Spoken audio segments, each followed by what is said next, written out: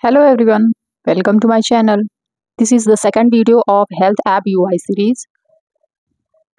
Let me show you the screens what we are going to create in this series. These are all the screens we will create.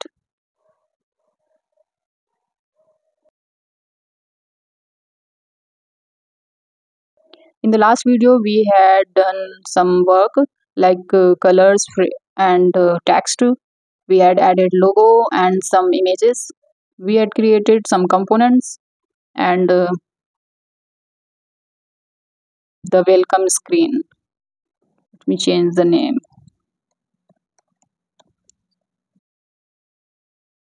Today we will start from here.